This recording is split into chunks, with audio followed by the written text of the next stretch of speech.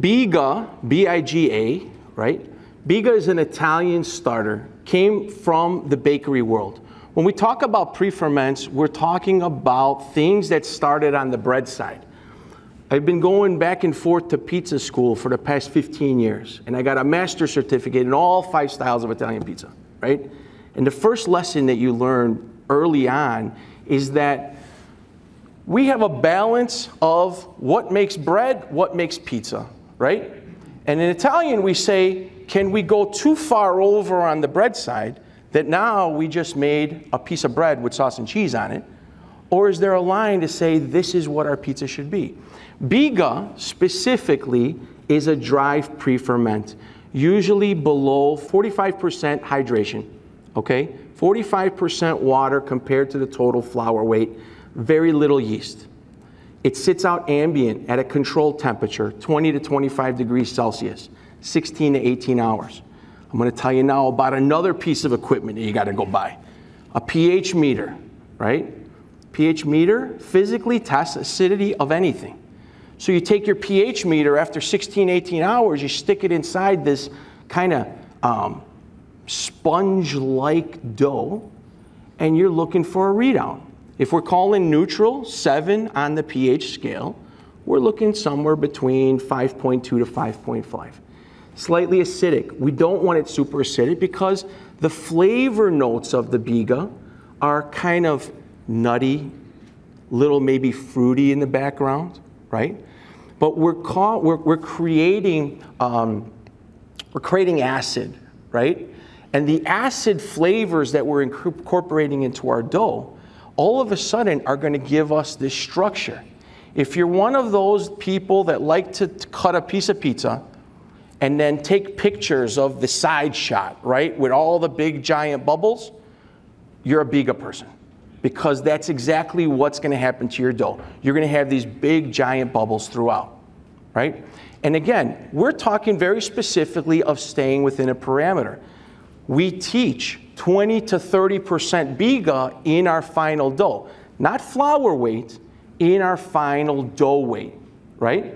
Because what happens if we go higher than that?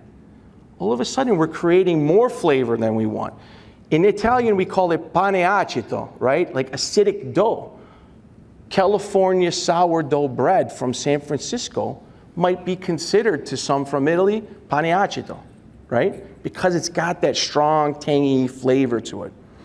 And when you make this biga, you can definitely change stuff. Roman pizza, for example. Roman style became huge probably uh, right after Detroit exploded, right? I've been doing Roman style for so long. Famous, um, famous place in Rome called Campo di Fiore, right? The historic Roman uh, pizza al taglio, the one that's in a pan that they cut with the scissors, right? That dough is 100% made with biga. And as the new generation of pizzaiolo starts to say, well, Panificio um, Campo di Fiore is over 100 years old, I want to make a product that's new. I still want that structure, but I want to make it new. So what do they start doing? They add more biga to it. And this is when you start hearing in the Roman pizza world that you're talking about a dough that's 96 hours, a dough that's at least 80 to 85% hydration. I remember competing here at Pizza Expo, and I had Peter Reinhart, Tom Lehmann, like a crew of judges. And I went in front, and I did, at that time, I think they told me it was the first ever that they had seen 100% hydration dough. Equal parts flour and water. It was like soup. But when I actually had that dough on the table, it looked like a fluffy cushion, right? And that water really plays a part. And we talk about absorbing that water into flour. The biga is going to give us those giant bubbles. And that's as simple as it is. So when you start tinkering with biga, Remember, 20 to 30% based on the total flour weight. You're going to calculate the ingredients that were in the biga in your final dough.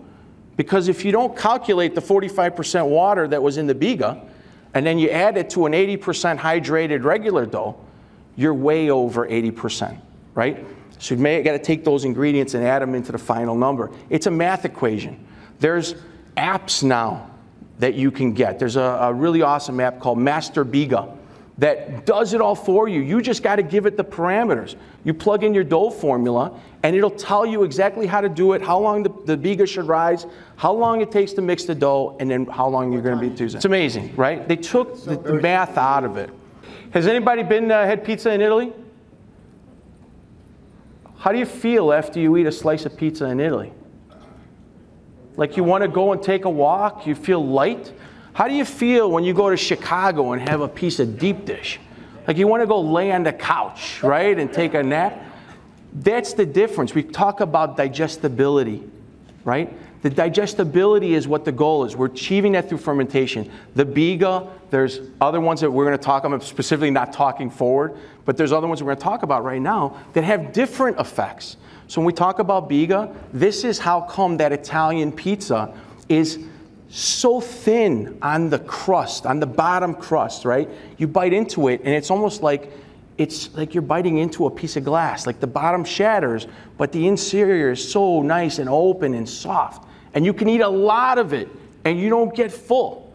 And it's because the heavy parts are all gone. The starches, right? Starches are sugar, right? We talk about in class all the time. Everyone's on the keto diet and all that. Why? We just want to get rid of all these sugars, all these starches, right? We don't eat carbs. And it, the same thing happens with our dough. So you can actually make a better dough that's better for you just by working differently with that dough. I'm going to say out of all the, the doughs that I make, historically, I'm a poolish guy. While I love a biga, right? The Poolish to me, the only way I can say it for everybody to easily understand a dough made with poolish is delicious, right? Because we're talking about creating lactic acid.